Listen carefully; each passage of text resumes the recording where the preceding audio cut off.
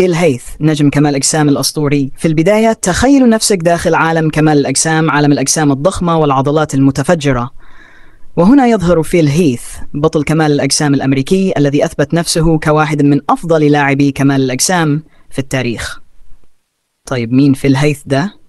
وليه قصته مثيرة للانتباه؟ فيل هيث أتولد سنة 1979 في مدينة سياتل بولاية واشنطن الغريب إن فيل في البداية ما كانش لاعب كمال أجسام بالعكس كان لاعب سلة جامعي في جامعة دنفر.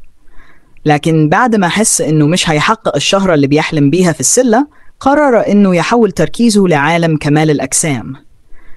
وده في بداية الألفينات. أول ما دخل المجال اكتشف حاجة خطيرة.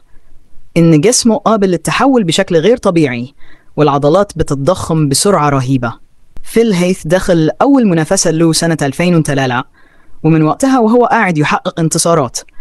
لكن الحاجة اللي خلت اسمه ينكتب في كتب التاريخ هي لما فاز بلقب مستر أولمبيا لأول مرة في 2011 وفضل بطل مستر أولمبيا لمدة سبع سنوات متتالية. ده رقم مش أي حد يحققه. وأصبح اسمه مرتبط مع أساطير كمال الأجسام زي أرنولد شوارزنيجر وروني كولمان.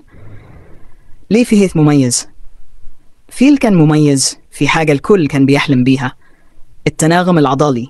بمعنى إن جسمه مش مجرد ضخم وعضلاته كبيرة لكن كمان التفاصيل العضلية عنده كانت دقيقة جدا.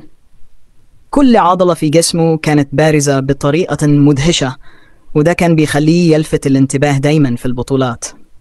لكن مش كل حاجة كانت سهلة. فيل واجه مشاكل في حياته منها إصابات في البطن خلت ناس كتير تنتقد مظهره في السنين الأخيرة. وبرغم أنه فقد اللقب في 2018 لصالح شون رودين لكنه فضل رمز في عالم كمال الأجسام. فيل مش مجرد لاعب كمال أجسام هو مصدر إلهام لأجيال كتيرة قدر يثبت أن الإصرار الانضباط والعمل الشاق بيجيبوا نتائج جبارة. وكل ده خلاه واحد من أعظم الأسماء في تاريخ الرياضة دي.